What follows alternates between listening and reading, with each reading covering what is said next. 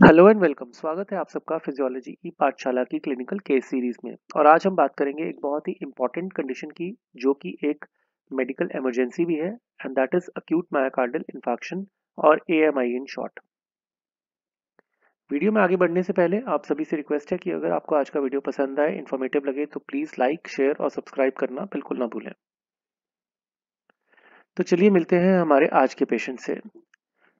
A 50 year old obese businessman who is a known hypertensive and chronic smoker since the last 10 years is brought to the emergency by his wife.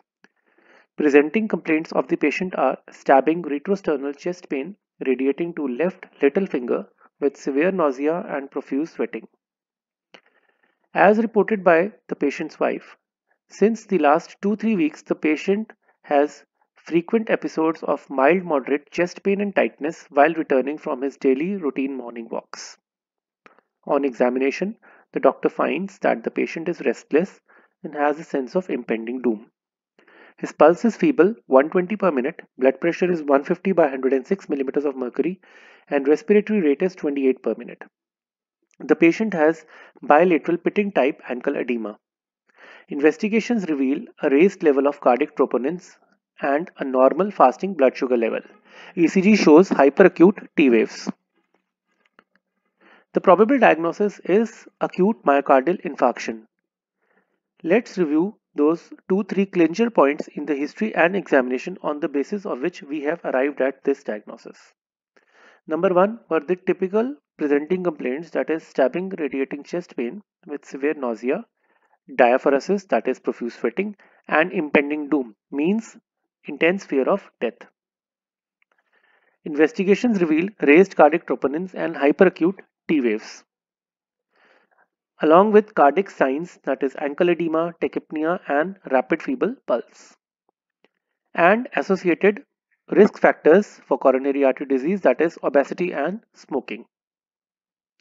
Now as you all might be knowing, AMI is a variant of coronary artery disease or ischemic heart disease the other one being angina pectoris.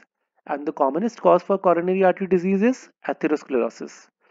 atherosclerosis se matlab kya hai an abnormal deposition of lipids within the vascular lumen especially of the coronary arteries due to which the heart's blood supply is compromised और ये जो atherosclerotic changes हैं they occur over a period of many years as you can see in this image the progression takes almost 30 to 40 years before the first attack of the MI. अगर आप इन सारे steps को थोड़ा study करना चाहते हैं तो आप इस वीडियो को यहीं पे पॉज भी कर सकते हैं Now, coronary artery disease, it progresses over three stages usually.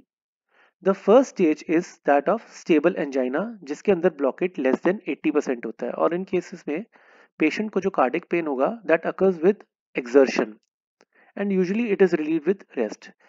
Patients usually do not take any medications for their pain.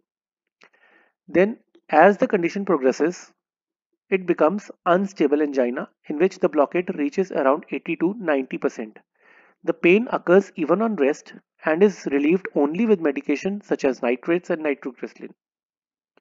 If the condition is ignored, it will progress into full-fledged AMI in which the blockade crosses 95 to 99% barrier and in this case the cardiac pain can occur at any time and it is unrelieved even with medication.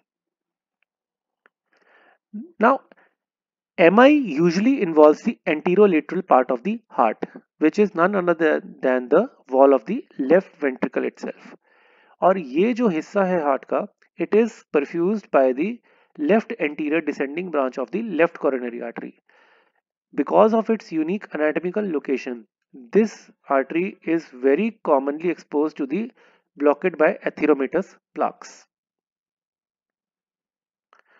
Let's review the clinical features of AMI in brief. The first and the foremost is the retrosternal chest pain.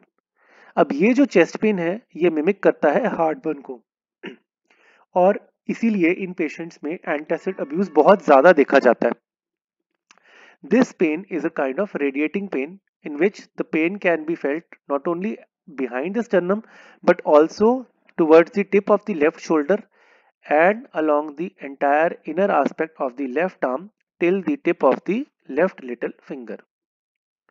इसके अलावा कुछ less common sites भी हैं radiation की these are the inner aspect of the right arm neck and the angle of the jaw, epigastrium and even at the back. Remember that चाहे angina हो चाहे M हो cardiac pain is retrosternal and burning type but M के pain की तीन characteristics ऐसी हैं जिससे हम उसको एंजाइना के पेन से डिफ्रेंशिएट कर सकते हैं। वो कौन सी हैं? Number one the cardiac pain in M I is very severe and prolonged it is not relieved by rest. and lastly it is accompanied with severe nausea anxiety and fear of impending death और ये चीजें angina में नहीं देखी जाती हैं besides cardiac pain two more important features which are seen in AMI are pulmonary edema which leads to breathlessness or dyspnea and swelling in the ankle region because of ineffective cardiac pumping action and resulting stasis of the blood flow. The doctor should go for these important investigations in a case of AMI. We'll be discussing them in brief one by one. Besides the routine blood tests such as hemogram, CBC and all, we also go for the lipid profile of these patients and it usually reveals that the serum cholesterol, lipoproteins, triglycerides and LDL fractions are raised, but the good cholesterol that is the HDL fraction is lowered. Fasting blood sugar will be raised only in cases of coexisting diabetes, otherwise it may be normal. Then are the serum biomarkers in which the first one is serum myoglobin. Serum myoglobin is the first one to rise that is within 30 minutes of the onset of the symptoms but it declines after 24 to 48 hours and is also elevated in myopathy because of which it is not considered diagnostic. However, it is an important screening test in AMI patients. Besides this, there are two other non-specific biomarkers for AMI patients. The first one being creatine phosphokinase myocardial fraction and the other one being lactate dehydrogenase. Now both these enzymes can be raised in conditions which are not involving the myocardium or some other conditions of the heart not essentially AMI such as pericarditis etc. The most important biomarker for AMI patients are cardiac troponins such as cardiac troponin I and cardiac troponin T. They rise within 2 to 3 hours of onset of symptoms and they peak within 12 to 48 hours. They are considered gold standard diagnostic test for MI patients. पर ऐसा क्यों? Because of two main reasons. Number one being they rise 20 times even in case of small infarcts. And secondly, they remain elevated for 7 to 10 days. तो अगर कोई patient hospital में late भी report करता है even then the doctor can suspect that the attack of AMI has already taken place based on the raised levels of cardiac troponins. Now, what are the ECG changes in MI? There are four kinds of ECG changes which are commonly seen.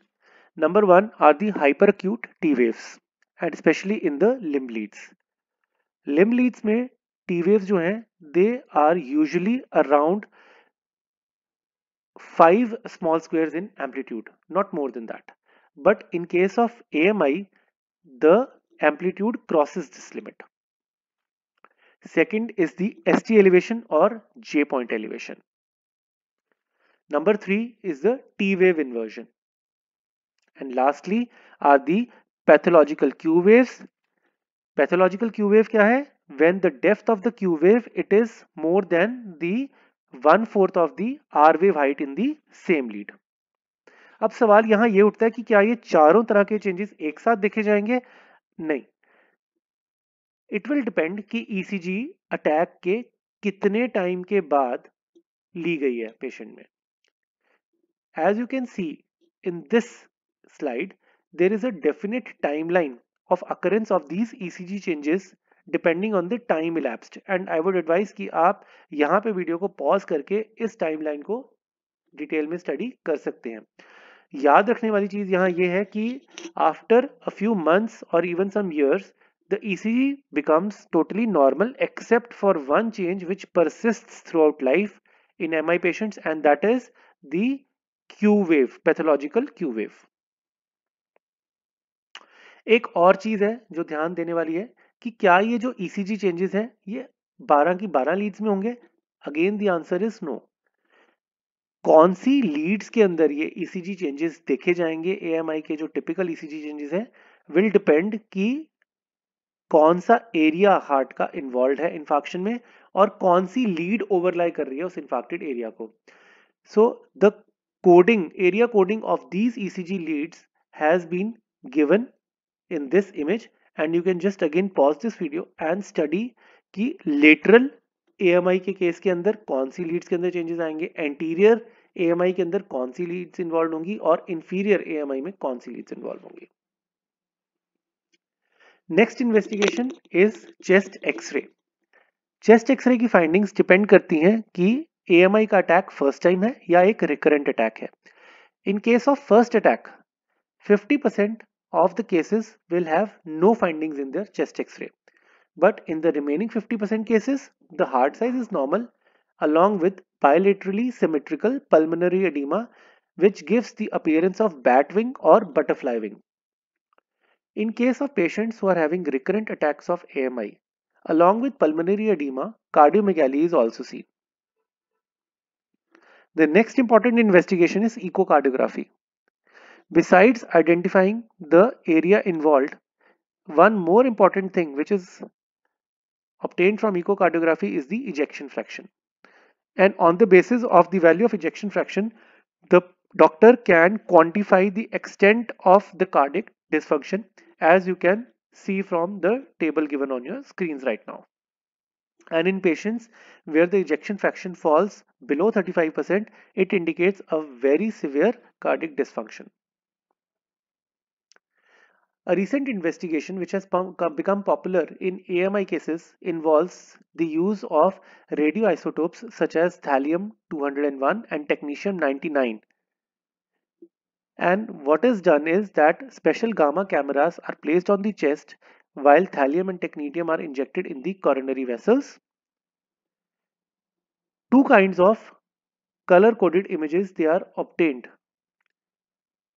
One of the colored areas is blue which indicates the ischemic cardiac areas with a low uptake of thallium 201 and the other kind of colored area is marked in red or orangish color and are labeled as hotspots, which are actually the infarcted myocardium areas with a high uptake of technetium-99. Medical management of AMI involves a five-pronged strategy. First and the foremost is giving morphine to the patient for controlling the pain and anxiety. Then is the reperfusion therapy which involves inhalational oxygen and vasodilators such as nitrates. Then comes the hypolipidemic drugs such as statins for treating the disturbed lipid profile. Then because of the ischemia of the conducting tissue of the heart, these patients are very prone for cardiac arrhythmias for which we have to give antiarrhythmics.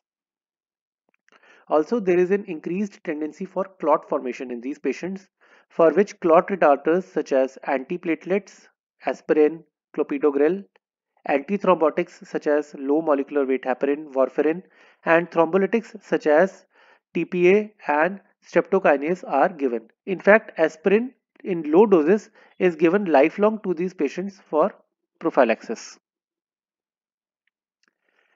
Surgical management of AMI involves two options.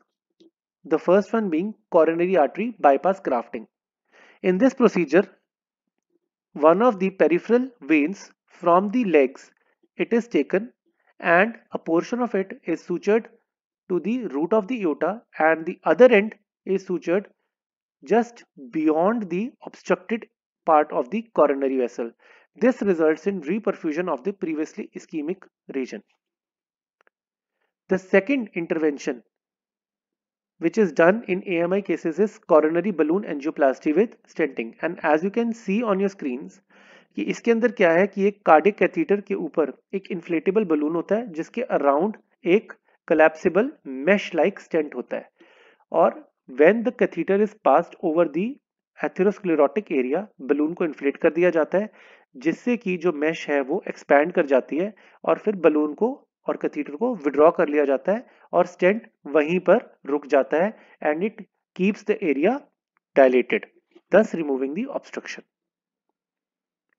lastly will discuss the complication of a and there are three main complication of a first is if the area affected is more than 40% of the left ventricular wall, it will result in a severe reduction in cardiac output, the condition being called cardiogenic shock.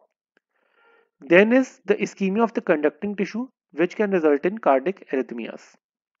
And the third complication is a very serious one, which is the cardiac rupture. And it results because the infarcted tissue is very weak. And when during systole, it undergoes contraction or during diastole there is excessive stretching of the cardiac wall it can even rupture resulting in instantaneous death of the patient so so, उम्मीद है कि आपको आज का video पसंद आया होगा और आपको कुछ इंटरेस्टिंग चीज़ें भी पता चली होंगी अगर हाँ तो प्लीज़ लाइक शेयर और सब्सक्राइब करना बिल्कुल ना भूलें मिलेंगे अगली बार एक और नए वीडियो में तब तक के लिए good bye and take care